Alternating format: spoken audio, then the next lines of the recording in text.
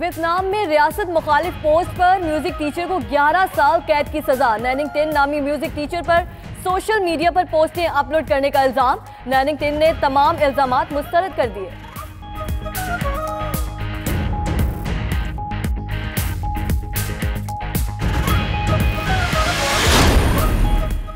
امریکی کانگریس کمیٹی کا مقبوضہ کشمیر میں انسانی حقوق کی سنگین خلاف ورزیوں پر دوسرا اجلاس۔ انسانی حقوق کی خلاف ورزیوں کے متعلق سفارشات تیار کر کے ایوان نمائندگان کو بھیجنے کا فیصلہ۔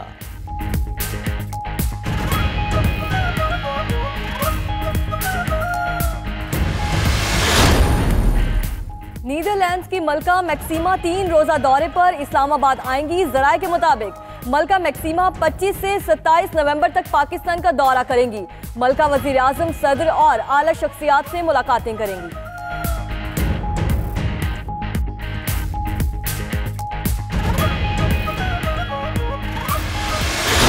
کیا نواز شریف کا نام ای سی ایل سے غیر مشروط طور پر نکل سکے گا؟ لاہور ہائی کورٹ میں درخواست کی سماعت آج دن ساڑھے گیارہ بجے ہوگی۔ گزشتہ روز عدالت نے وفاقی حکومت اور نیب کے اعتراضات مسترد کیے۔ نواز شریف کا نام ای سی ایل سے غیر مشروط نکالنے کی درخواست قابل سماعت قرار دی۔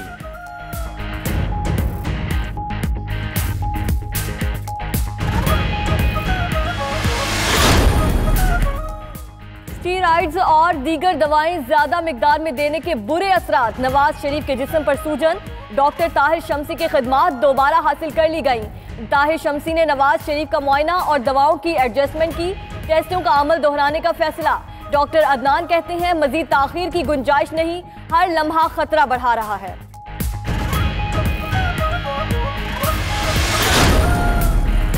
جے یو آئی نے شاہراہوں پر دھرنوں کا دورانیہ مختصر کر دیا۔ راشد سومرو کہتے ہیں، دھرنے صبح آٹھ بجے شروع ہوا کریں گے رات، آٹھ بجے شاہراہیں کھول دیا کریں گے۔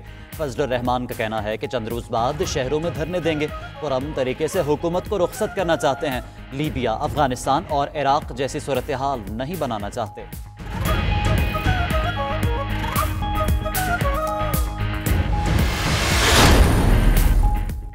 حکومت کا فضل الرحمان کی تقاریر پر قانونی چارہ جوئی کا فیصلہ۔ نواز شریف سے متعلق عدالتی فیصلے کا احترام کیا جائے گا۔ P T I core committee کے اجلاس میں حکمت عملی طے، دھرنے میں استعمال کی جانے والی زبان کی مذمت۔ ذرائع کے مطابق وزیر اعظم نے کہا، فضل الرحمان نے مذہب کارڈ کا استعمال کیا۔ فردوس عاشق کا کہنا ہے، آزادی مارچ کی وجہ سے کشمیر کا معاملہ پیچھے چلا گیا۔ پلان بی، پلان سی کے بارے میں پاکستان پیپلز پارٹی تفصیل میں نہیں بتایا گیا۔ ہمارا وزیر اعظم کا جو ہٹنے کا چانسز ہے، وہ بڑے بھرے ہیں، کم نہیں ہوئے کہ یہ وزیر اعظم نہیں رہے گا۔ یہ سلیکٹڈ وزیر اعظم کو جانا پڑے گا اور اگلے سال تک انشاءاللہ تعالی ہمارا نیا وزیر اعظم ہوگا، نیا انتخابات۔ جی، حکومت کو اندازہ نہیں کہ اس کی سلیکٹڈ سپورٹ ختم ہو چکی ہے۔ بلاول بھٹو کا کہنا ہے، دوسرا سلیکٹڈ قبول نہیں کریں گے۔ شفاف الیکشن چاہتے ہیں۔ آزادی مارچ کافی حد تک کامیاب رہا۔ وزیر اعظم کے ہٹنے کے چانسز بڑھ گئے۔ پلان بی سی اور چودھری برادران سے رابطوں پر تفصیلی نہیں بتایا گیا۔ آئندہ سال پیپلز پارٹی کا وزیر اعظم آئے گا۔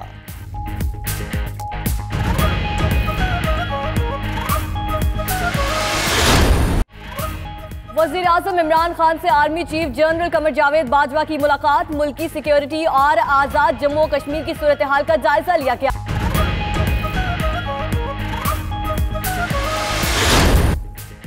لاہور کے مختلف علاقوں میں رات گئے بوندا باندی، موسم مزید ٹھنڈا ہو گیا۔ گرد و غبار سے فضا بھی صاف ہو گئی۔ ادھر کراچی میں بھی ہلکی بوندا باندی کے بعد ٹھنڈی ہوائیں چل گئیں۔ شہر قائد کا موسم خوشگوار ہو گیا۔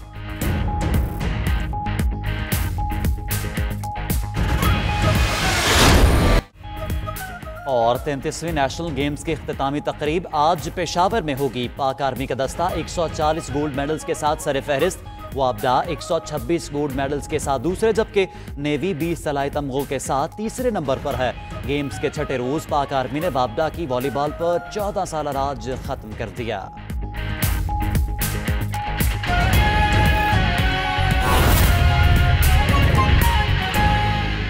رخ کریں پشاور کا جہاں یتیم اور بے سہارا بچوں کے ادارے میں زیر کفالت بچوں کی صلاحیتوں کو مزید نکھارنے کے لیے فائنانس سینٹر قائم کر دیے گئے ہیں۔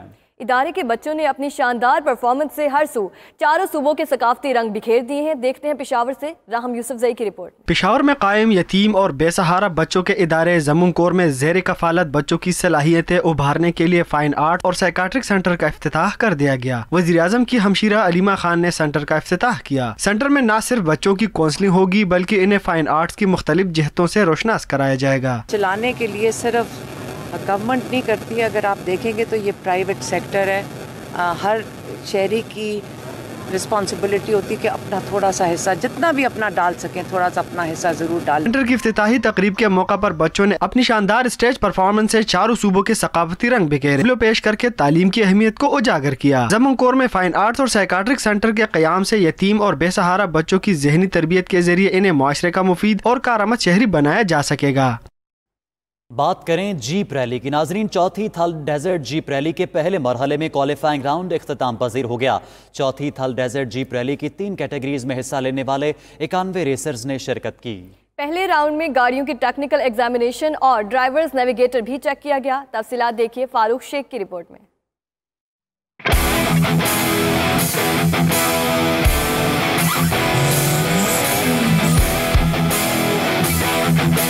مظفر گڑھ میں چوتھی ڈیزرٹ ریلی کا آغاز ہو گیا۔ پہلے مرحلے میں کوالیفائنگ راؤنڈ میں ملک بھر سے ماہر ڈرائیورز نے شرکت کی۔ ریتلے ٹریک پر اونچے نیچے راستوں پر ڈرائیورز نے خوب مہارت کا مظاہرہ کیا۔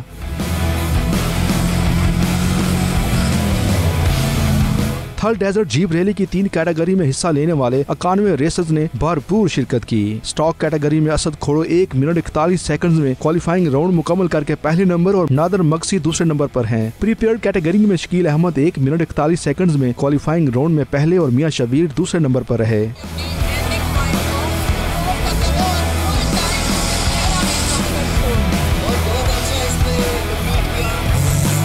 خواتین کی کیٹیگری میں سلمہ خان نے ایک منٹ پچاس سیکنڈ کے ساتھ میدان مار لیا۔ زہا خان دوسرے نمبر پر رہیں۔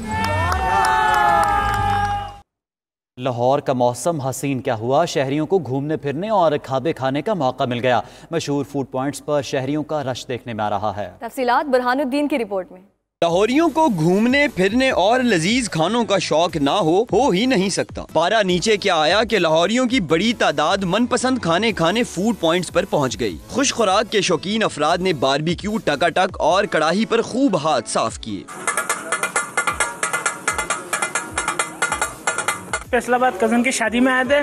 ٹھیک ہے وہ نمٹانے کے بعد ہم یہاں خصوصی لاہور مرغا کھانے آئے۔ ٹکا ٹک اسپیشل جو ہے ان کا چاند کے اندر وہ ہم کھاتے ہیں شوق سے۔ تقریباً بائیس سال سے ہے آج موسم بہت اچھا ہے۔ آج اس کا بنتا ہے کھانا۔ ہوٹلوں پر رش کی وجہ سے بہت سے گاہکوں کو کھابوں کے انتظار میں بھی بیٹھنا پڑتا ہے۔ کہیں کبابوں کی رکابی ہے تو کہیں کراہی کا دور چل رہا ہے۔ لاہوری اس دل فریب موسم کو بھرپور انداز سے انجوائے کر رہے ہیں۔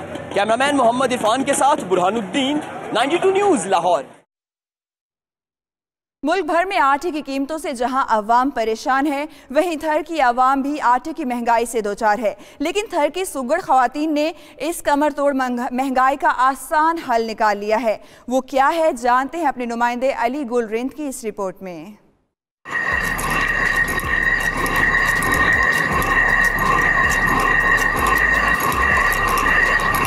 ملک میں آٹے کی قیمت آسمانوں سے باتیں کر رہی ہے، دو وقت کی روٹی کا حصول بھی مشکل ہوتا دکھائی دے رہا ہے۔ کبیر نے کیا خوب کہا ہے، دنیا بڑی باوری پتھر پوجنے جائے۔ گھر کی چکی کوئی نہ پوجے، جس کا پیسا کھائے۔